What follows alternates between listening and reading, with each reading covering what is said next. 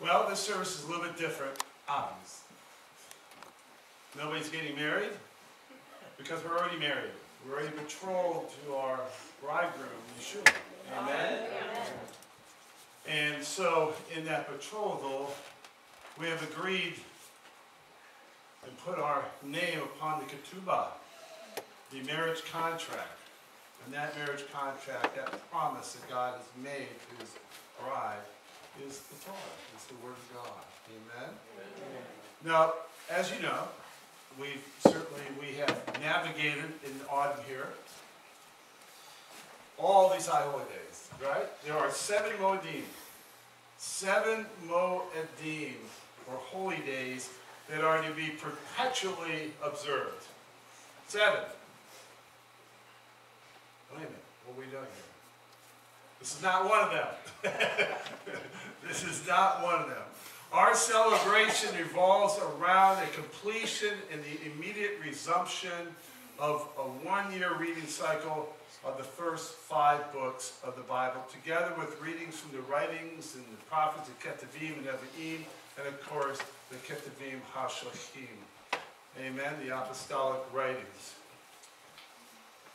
Just like our Lord, He has no beginning, He has no end. Amen. We continue in our reading, in our growth. The tradition that we're partaking of this morning evolved out of a desire. Out of a desire to obey a command given Yehoshua or Joshua. Because when we come to the end of Devarim or Deuteronomy, which we will, what follows? What book follows? Rashid. Pay no attention to that lady in the back. Yehoshua, because he was going to step into the land. And it's very interesting. The very first command, the very first thing he talks about is the necessity to be obedient to the word of God. I was thinking to myself about obedience. You know, in this world we live in, there's many people have different ideas about God or, or if there is a God. Of course, some people take a very strong position and some take sort of a moderate position. And the interesting thing about it is that you might be in a conversation, a sort of relation, uh, a spiritual conversation with somebody, and they go, well, I, I'm not sure what I believe or how I believe. I was thinking to myself, well, really, God's not dependent upon whether you believe or don't believe, because God exists. It's irrelevant, really, what you believe. That's right. It really is. God is not, you know, burying his identity upon whether we choose to believe or not. He is. He says what? I am. He Doesn't have to defend his existence in any way whatsoever. He is. What you, what you choose to do in that process is entirely up to you. But he is. He is Lord of Lord, King of Kings. Amen? And he is that word right there. Where to go? Time to move. As we should be on the move. Amen? Amen? What he does desire from us is what? He's not concerned about whether we believe. He just wants our obedience.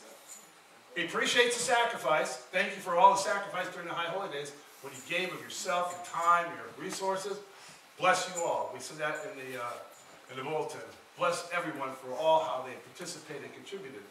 And that's wonderful. You know, we all want to do the good mitzvah. But in that process, there's also something even more important to our Lord, and that's obedience. Faithful obedience to his word and way. Amen? Amen. You know, though it is a scroll that's full of instructions and commands for all of God's people, what is the, what is the spirit of what's taking place?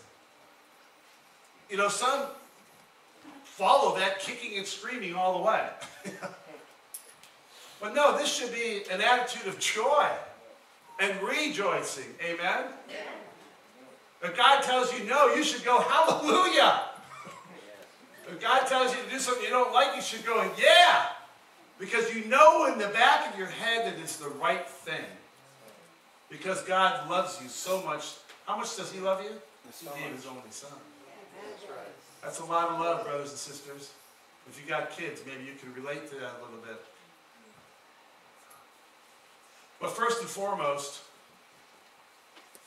from the redemptive reality revealed in us of God Son Yeshua, is that what that word is all about. Who the Father sent to show us the way. It's the way of life. God gives us free will. We can, again, do what we want to do. We go ahead. But there is a perfect way. So if you want to flounder through life, trying to figure it out along the way, you know what I'm saying? I got I got a new dishwasher. You know, I got a new dishwasher. Thank you, David, for putting that in. He helped me put the dishwasher in. I think about my dishwasher is, I got a pretty good one. Okay, praise the Lord. Because I wanted a quiet one. Right? Right. And if you were in our house, you'd see Michelle and I going, is it working? Yeah, we're at the talking I- Yeah. Know if it's working. Now, see, I haven't had a chance to do anything with this dishwasher yet. So you know what I'm gonna have to do? I have to break out the instruction manual. I'm gonna have to figure it out, right? That's what this is all about. Life. We're trying to figure out life, aren't we?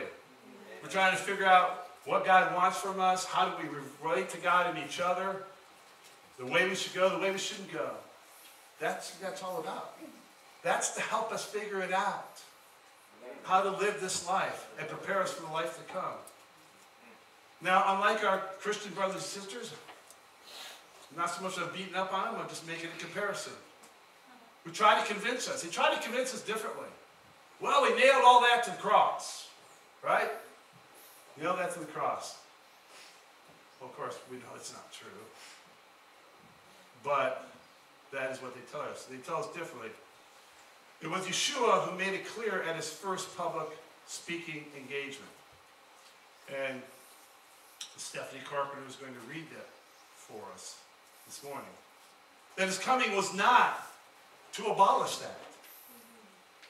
It's very, very interesting that at the beginning of Joshua's ministry, going into the land, into the promise, the first thing that comes out of his mouth is the necessity to obey that. First thing that Yeshua does going into his ministry is what? The very first thing he tells us is, I didn't come to do away with this. We have to obey this. Don't think that I've come to abolish the Torah or the prophets. To the contrary, I've come to bring it to its fullest expression. That through him the spirit of the Torah would be realized. And he warned the Torah teachers of his day.